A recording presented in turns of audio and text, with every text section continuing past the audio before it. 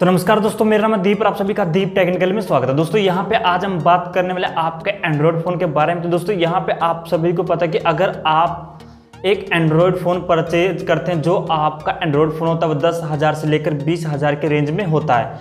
लेकिन दोस्तों, यहाँ पे आप सभी को पता है, किसी के पास भी बड़ा बड़ा फ़ोन होता है, जो कि एप्पल या फिर दोस्तों सैमसंग का जो पचास हज़ार से ऊपर का होता है तो दोस्तों, उनमें सबसे ज़्यादा काफ़ी अच्छे अच्छे फीचर्स होते हैं, जिसमें दोस्तों यहाँ पे वह एक बार पानी में भीगने के बाद भी वह वाटर प्रूफ होता है, जिससे उसमें कोई भी प्रॉब्लम नहीं आती और ना ही उसमें कोई भी परेशानी होती है। लेकिन दोस्तों यहाँ पे हमारे पास होता है दस हज़ार से लेकर बीस हज़ार के आसपास के रेंज में एक एंड्रॉयड फ़ोन जिसमें दोस्तों यहाँ पे अगर आपका फ़ोन गलती से पानी में गिर जाता है या बारिश में भीग जाता है तो आपका एंड्रॉयड फ़ोन परमानेंटली ख़राब हो सकता है, जो कभी भी ऑन नहीं हो सकता। तो दोस्तों, यहाँ पे आपको कुछ बातों का ध्यान रखना चाहिए। जब आपका एंड्रॉयड फ़ोन पानी में गिर जाए या फिर बारिश में भीग जाए।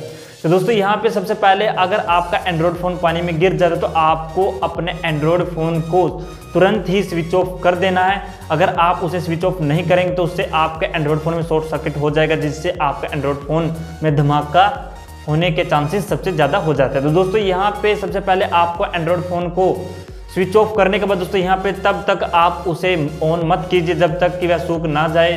तो सबसे पहले दोस्तों आप अपने एंड्रॉयड फ़ोन को सुखाने के लिए हेयर ड्रायर का यूज़ कर सकते हैं, जिस जो आपको बाल सुखाने में यूज़ करते हैं। अगर आपके पास वो नहीं है तो आप अपने एंड्रॉयड फ़ोन के, जहाँ पे आपका चार्जर यूज़ किया जाता है और जहाँ पे आपका एंड्रॉयड फ़ोन के जो ईयरफोन लगते हैं, उस पर आप ब्लैक टेप लगा दीजिए या वाइट टेप लगा दीजिए। उसके बाद दोस्तों यहाँ पे आपको अपने एंड्रॉयड फ़ोन को चावल के अंदर रख देना और उसे अच्छी तरह से दबा देना। जिससे दोस्तों यहाँ पे चावल के अंदर गर्मैश होने के कारण आपका जो एंड्रॉयड फ़ोन का पानी है वो सूख जाएगा और उसके बाद आपका एंड्रॉयड फ़ोन जब आप ऑन करेंगे तब आपका एंड्रॉयड फ़ोन अच्छी तरह से वर्क करेगा। लेकिन दोस्तों यहाँ पे अगर आपका एंड्रॉयड फ़ोन फिर भी ऑन नहीं होता तो आप किसी भी आसपास के दुकानदार के पास जाएँ और उसे चेक करवाएँ। जिससे दोस्तों यहाँ पे आपका एंड्रॉयड फ़ोन की जो प्रॉब्लम होगी, जो भी शॉर्ट सर्किट होगा, वहाँ पे आपका पता चल जाएगा और आपका एंड्रॉयड फ़ोन खराब होने से बच जाएगा। तो दोस्तों, अगर आपको यह अपडेट काफ़ी अच्छी लगती है, वीडियो को लाइक कर देना चैनल को सब्सक्राइब कर लेना बेल आइकन को प्रेस कर लेना। तो दोस्तों, यहाँ पे मैं आपके लिए ऐसी अपडेट लेकर आता रहूँगा।